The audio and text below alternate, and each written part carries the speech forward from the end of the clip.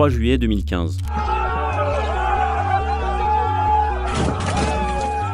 Après plusieurs journées de manifestations violentes partout en France, l'entreprise américaine Uber met un terme à plus d'un an de combat. Le gouvernement avait déclaré la guerre à ce service en faisant voter une loi l'interdisant. La fin d'Uber Pop, le groupe américain a décidé de suspendre ce service. Les chauffeurs de taxi ont finalement réussi à faire plier Uber.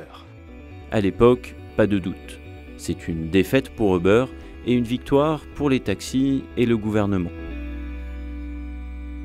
En réalité, la fin du service Uber Pop n'était qu'une étape dans la stratégie de l'entreprise californienne. Grâce à une fuite de dizaines de milliers de documents internes à Uber, Le Monde et plusieurs médias internationaux révèlent les coulisses du succès de l'entreprise californienne. Notamment comment elle a pu s'implanter en France grâce à une attitude agressive et un allié de taille au sein du gouvernement pourtant hostile de l'époque, le ministre de l'économie, Emmanuel Macron.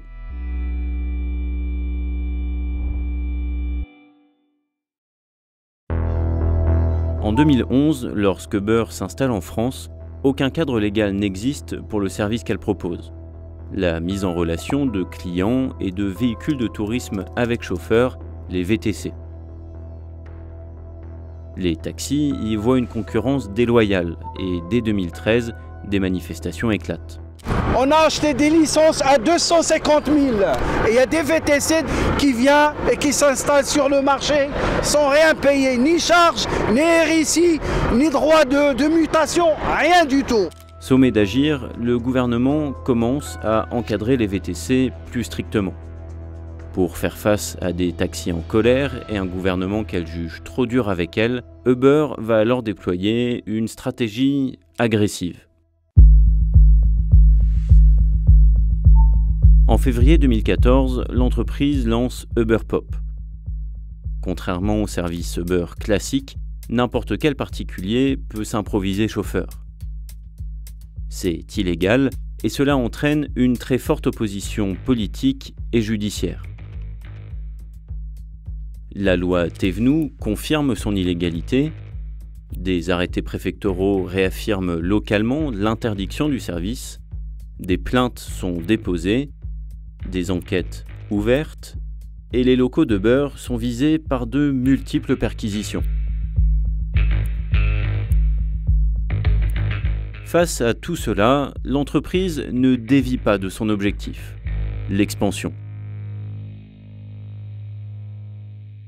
Quand la justice néerlandaise menace pour la première fois un chauffeur Uber Pop, Pierre-Dimitri Gorcotti, le directeur France et Europe de Beurre, explique en interne C'est un risque qu'on a eu sur d'autres marchés.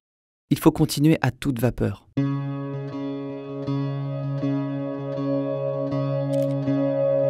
Dans les 15 mois qui suivent son lancement, le service est étendu à 9 villes majeures. Face aux arrêtés préfectoraux d'interdiction, le directeur général d'Uber France, Thibaut Saint-Phal, ne se montre pas impressionné. C'est un arrêté préfectoral, on va le contester. Euh, pour l'instant, euh, ça ne change rien. Nous, UberPop peut continuer. En coulisses, les dirigeants s'organisent aussi pour faire face à la justice. Ils diffusent en interne un manuel sur les comportements à suivre en cas de perquisition et ils déploient le Kill Switch, un système informatique qui permet à distance de bloquer tous les ordinateurs de l'entreprise et ainsi éviter que la justice n'accède à des documents compromettants. Le 6 juillet 2015, les dirigeants de Beurre découvrent qu'une perquisition vise leurs locaux parisiens et discutent par message. Direction des finances publiques à l'accueil, sont une vingtaine au total. J'imagine qu'on a coupé les accès numériques du bureau de Paris. Donc on communique par SMS Oui. Ils essaient d'accéder à tous les ordinateurs pour récupérer des données. Suivez la méthode Zachary de Kievit. Essayez quelques ordinateurs, prenez l'air confus quand vous n'arrivez pas à vous connecter, expliquez que le service informatique est à San Francisco et dort probablement déjà. Oh ouais, on a appliqué cette méthode tellement de fois que maintenant, le plus difficile, c'est de continuer d'avoir l'air surpris. Une heure plus tard, la perquisition se poursuit, mais l'un d'entre eux semble soulagé. Ils n'ont rien trouvé. Alors qu'elle esquive la justice, l'entreprise trouve un soutien de taille au gouvernement, le ministre de l'économie, Emmanuel Macron. Dans les deux années qui suivent son entrée au gouvernement, Emmanuel Macron ou les membres de son cabinet ont rencontré l'équipe de Beurre au moins 14 fois. La première rencontre a lieu un mois après la nomination du ministre et lui permet de s'entretenir avec le fondateur californien de l'entreprise, Travis Kalanick. La conseillère d'Emmanuel Macron, Astrid Pagnosan, écrit le jour même au directeur de Beurre France. Pierre, transmettez nos remerciements à Travis. Comme évoqué, nous sommes intéressés par une note de synthèse qui résumerait vos attentes en matière de réglementation et votre potentiel d'emploi. Et dites-nous comment nous pourrions prochainement concrétiser un événement avec Emmanuel Macron et des candidats à Uber dans vos bureaux parisiens, ce qui pourrait offrir une image positive. Côté Uber, Marc Magan, responsable du lobbying en Europe, informe ses équipes dès la fin de l'échange. En un mot, spectaculaire, du jamais vu. Beaucoup de boulot à venir, mais on va danser bientôt.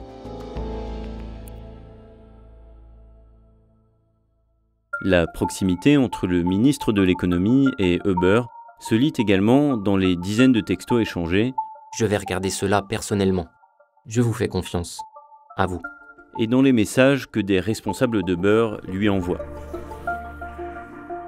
Le 6 juillet 2015, en plein milieu de la perquisition des locaux parisiens, Marc Magan écrit directement à Emmanuel Macron.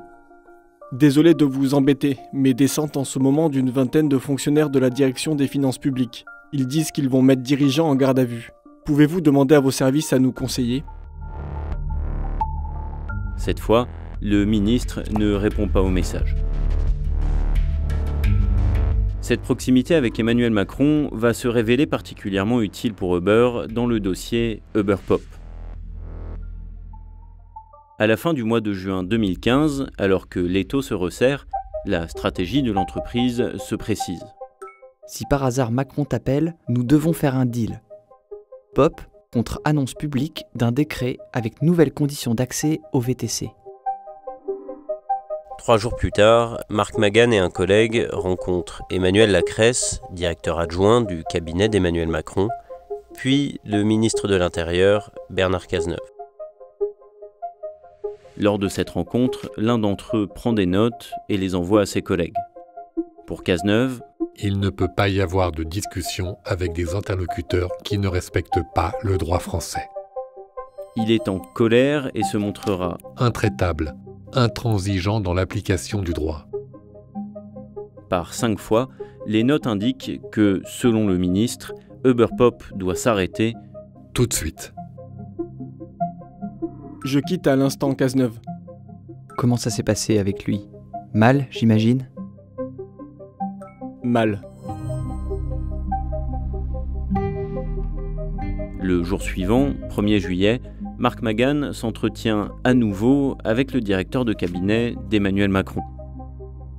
Bercy soutient Uber.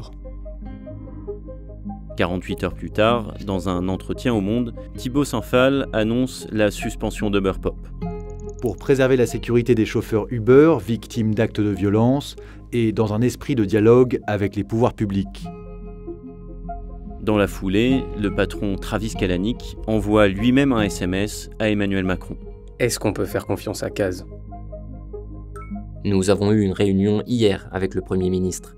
Cazeneuve fera taire les taxis et je réunirai tout le monde la semaine prochaine pour préparer la réforme et corriger la loi. Kaz a accepté le deal, Six mois plus tard, le gouvernement prend un arrêté qui abaisse les 250 heures de formation pour devenir chauffeur de VTC à seulement 7 heures. Les dirigeants de Beurre partagent immédiatement leurs sentiments. Cet arrêté va exactement dans le sens que nous poussons depuis plusieurs mois. Je considère ce soir que ce texte est une très forte avancée pour nous tous.